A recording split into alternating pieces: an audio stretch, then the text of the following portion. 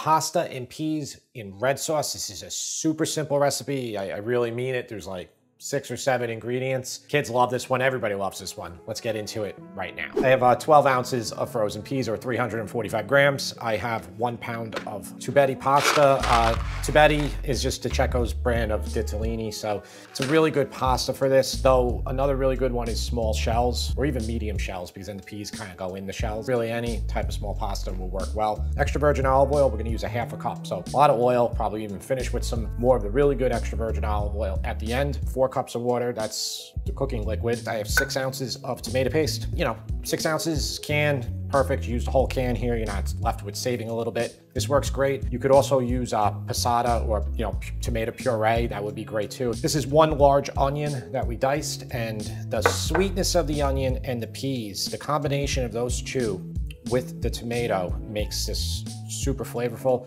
I'm gonna finish with about three quarter cup of Pecorino Romano. You could also use Parmesan cheese if you want. I got a block of Parmigiano Reggiano over there, uh, which what I just used for the previous recipe I did, which was shepherd's pie, believe it or not. Final ingredient for this, and again, not a lot of stuff, is just some hot red pepper flakes. So that's it. You know, you could use a little bit, a lot. Again, it's just more of the tech technique of this one that makes it good. And we're gonna show you right now how to do it. You can use a Dutch oven here, like a heavy pot. Uh, even something like this works. This is a non-stick, but I really like it and it's perfect for a dish like this. You definitely need enough room in here because between the pasta, the onion, the peas, and all the liquid you're gonna put in. So I'm gonna turn the heat to about a four out of 10, just a touch less than medium. And then I'm gonna coat the bottom of the pan with a lot of extra virgin olive oil. Recipe says a half a cup, but just, just coat it. Just get a lot down there. It's really this, the play of this with the onion and the tomato and the peas is what makes it so good. You know, a lot of you are gonna just say, well, where's the garlic? If you wanna use garlic, by all means do it, but I gotta tell you, this dish is better with just onion. It really is. And the same thing goes for just like when you're doing, uh, you know, this dish, pasta piselli, uh, just the white one without the red. That one too is better when it's just onion. We're gonna saute this uh, until it gets soft and translucent. So, you know, below medium heat and about seven minutes of doing this. Been only about three minutes. They look like this, but I wanna get them softer. I want them to like kind of like melt in that oil. But I don't wanna put color on them either. So keep the heat, about that four, four out of 10 level.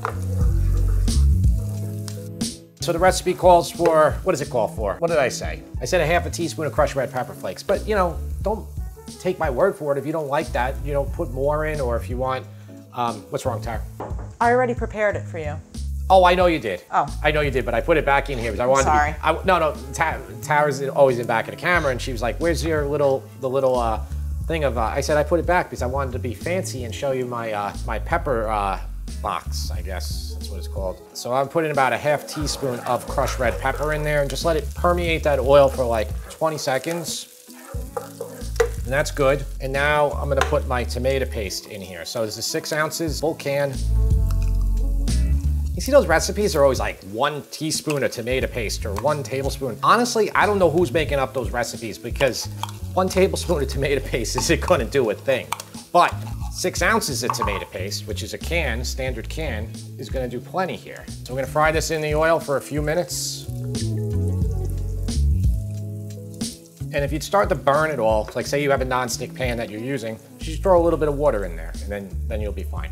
All right, and we're just gonna fry that paste in the oil. It's gonna boost the flavor of the paste dramatically. And you can see like how the oil's turning red, looking delicious. You can just look at this, like, you know, you can just look at food and then kind of say like, that's gonna be good or that's gonna be bad. This one, especially as you're cooking it, you just, the smells, you're just gonna, you just know that it's gonna be great.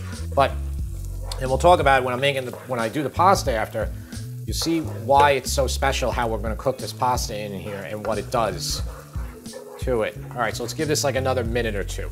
Let's talk about today's sponsor, Beam. As parents and content creators, Tara and I need to be on all day long, which means that winding down at night isn't always easy. And with a business to run, we can't afford to be moody or less focused just because we had a bad night's sleep. So in a quest to help ourselves fall asleep and stay asleep, we found Dream. Dream is a tasty powdered cocoa drink that's made to be drank at bedtime. Since taking Dream, our nights have been calmer and our mornings brighter and more productive. I've been taking Dream cinnamon cocoa at night with a splash of cream, and Tara's been loving the white chocolate peppermint. It's not only delicious, delicious, but it's formulated with five natural sleep promoting ingredients. And Dream has no added sugar and is only five calories. So guys, if you're in need of a good night's sleep, head to the link in the description and use code SIP and Feast to get 35% off your first order when you subscribe, and then 20% off all following orders. Plus, when you subscribe to Dream Powder, you'll receive a free frother with your first order. Thank you, Beam, for sponsoring this video. So that's a solid five minutes of frying that paste. We got four cups of aqua. That's it. All right, let's get it in there. And this is a good amount to start. It's gonna completely absorb into the pasta when we cook it. Bring this up to a boil right now and add one teaspoon of salt or even a little bit more because this is basically gonna become our cooking liquid for our pasta. So we want it to be very flavorful, just good taste. Almost like, it's almost like we're making the broth for uh, Assassin's Pasta, which I filmed that like I don't even know when I filmed it. Like uh, two months ago, and I don't even know if it's up on YouTube yet. Hopefully, by the time I put this one out for you, Assassin's Pasta will be out. We are boiling, so we're gonna cook our pasta and peas. So I'm putting in, I'm using a whole box, one pound, right in there, and then the peas. So I'm using one pound of the ditalini or tubetti and 12 ounces of peas, but you know, you can definitely go with the equal proportions if you want to. Okay, once you get it all mixed in here, just turn your heat down to about medium heat. I'm gonna go right to five out of 10.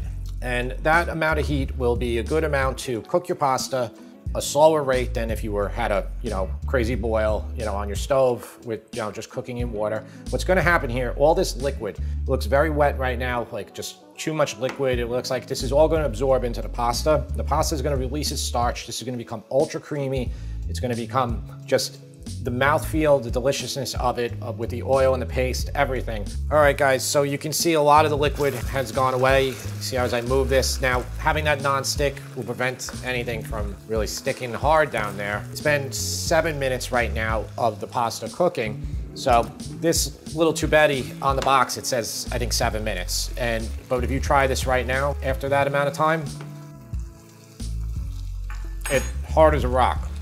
So it will always take longer doing it this way. But again, it's gonna release the starch and it's gonna make it creamy without any cream. But I'm gonna put a little bit of water in here. This is hot water. Have a couple cups nearby. You're probably not gonna need all of it.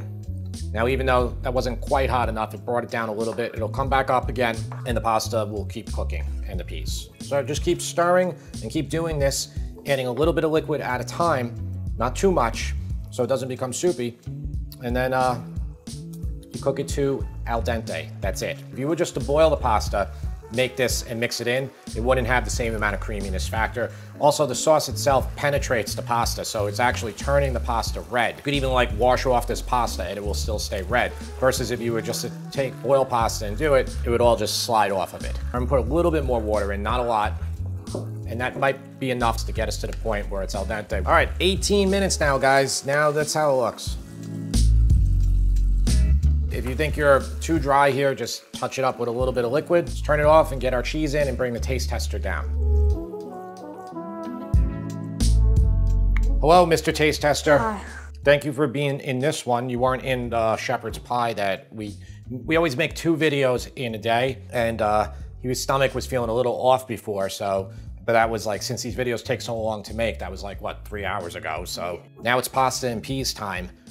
James, tell me what you think of this masterpiece. Um, well, we basically had this the other night, except the one the other night had like ground beef in it. The ground beef, yeah, wasn't, that's not a part of the recipe. I made uh, arancini, so, uh, which is on the, gonna be on the website. I don't know if I'm gonna do a video because it's such a pain to make those, you know?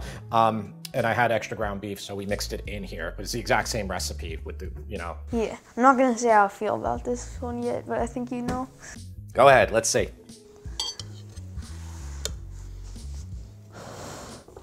I love olive oil, you can smell it. I put a little too much on there. I put the really good extra virgin at the end.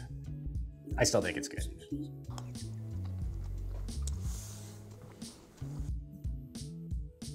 Trust me. It's so simple, but it's so perfect. Like, I feel like, I feel like if somebody went on the show like Chopped or something, and they only got to choose like three ingredients, I feel like you should choose these. I agree. So James, um, don't give it. A, let's not give it away, but give a rating. Yeah. yeah. Yeah. Hold the rating. Put it up. Turn it over, and just tell mom.